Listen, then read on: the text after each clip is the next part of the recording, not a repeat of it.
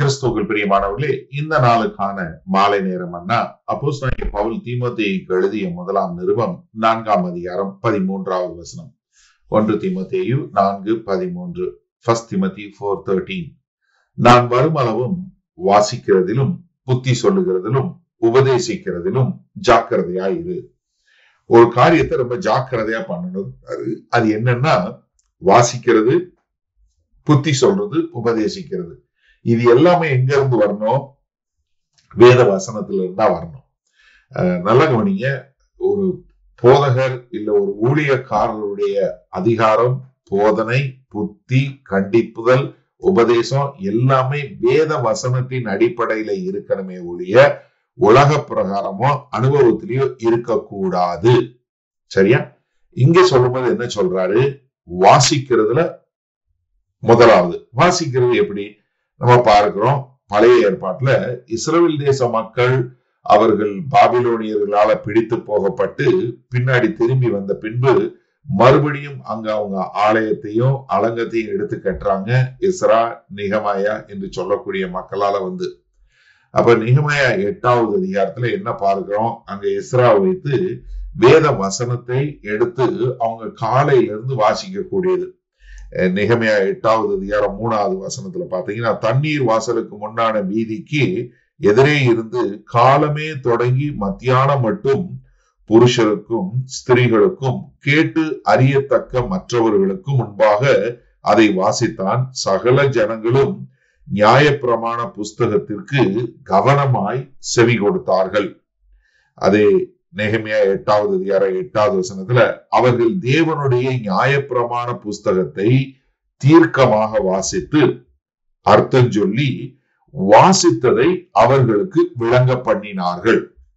என யூதர்கள் என்ன? வேத வசனத்தை வாசித்தாங்க. எல்லாருக்கும் முன்பாக வாசித்தாங்க. இன்றைக்கு நமக்கு எல்லா கடிதங்களும் எல்லா தேவனுடைய வார்த்தைகள் எல்லாம் அடங்கிய பைபிள் வேத புஸ்தகம் என்று சொல்லக்கூடிய ஒன்றாய் இருக்கிறது. அந்த காலத்துல அவங்களுடைய புஸ்தக சூழல்களா இருந்தது நியாயப்பிரமாண புஸ்தகம் இருந்தது. அதையெல்லாம் அவங்க வாசிக்க கூடியவங்களா இருந்தாங்க.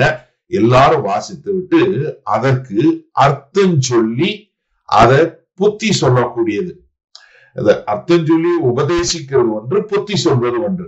அதாவது உபதேசம் என்பது என்ன? தேவனுடைய வார்த்தை இதுதான்.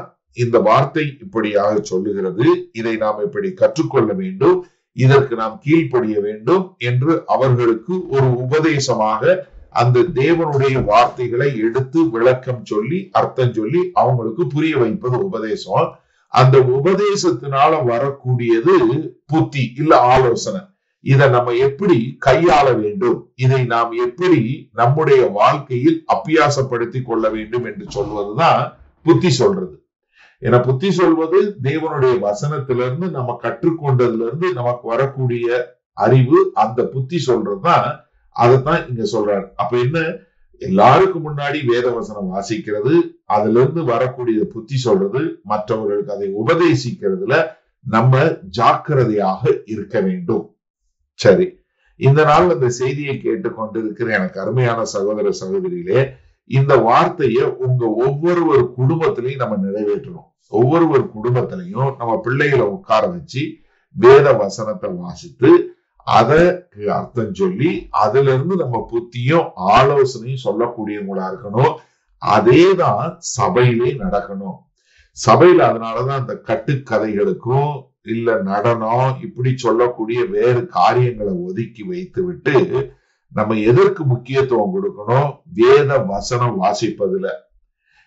நிறைய பேர் என்கிட்ட கேட்பாங்க அண்ணே உங்களுடைய சர்வீஸ் வந்து நீங்க யூடியூப்ல போடுறீங்க அதுல வந்து ஆராதனை மீது எதுவுமே போடுறது இல்லையேன்னு. எங்க சர்வீஸ் வந்து எப்படி நடக்குன்னா எங்க சர்வீஸ் யூஸ்வலா ஒரு தொண்ணூறு நிமிடங்கள் நடைபெறும். இந்த தொண்ணூறு நிமிடங்கள்ல முப்பது நிமிஷம் வந்து ஆராதனை நடைபெறும்.